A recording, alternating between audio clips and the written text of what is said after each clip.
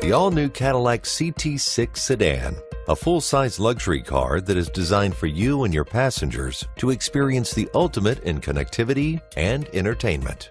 Passengers in the rear seats will appreciate the available remotely controlled rear seat infotainment system that features 10-inch high-definition screens, a Blu-ray DVD CD player, two USB ports, and wireless headphones.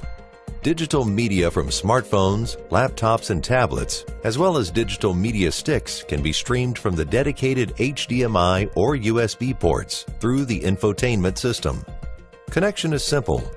Use the USB or HDMI ports for digital media players. Then press the power button on the front Cadillac CUE screen or the CT6 remote control to raise the high-definition video screens integrated into the back of the driver and front passenger seats. Once connected, select screen 1 or 2 since different programs can play on each screen, further enhancing the user experience. Press Home on the remote control and use the arrows to change the source to USB. Or use the front CUE screen to select the source. Your rear seat infotainment system lets you use your digital media player's remote control or smartphone app to select the media you want to play, while volume is controlled through the CT6 remote control. Press the power button on the front screen or the remote control to turn the rear video screens off.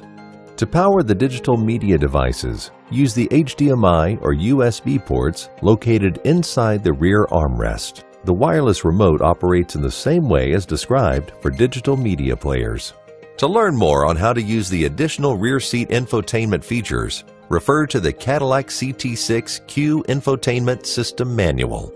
Just like driving the CT6, the rear seat infotainment system with its unprecedented level of entertainment, connectivity, and comfort needs to be experienced to be fully appreciated.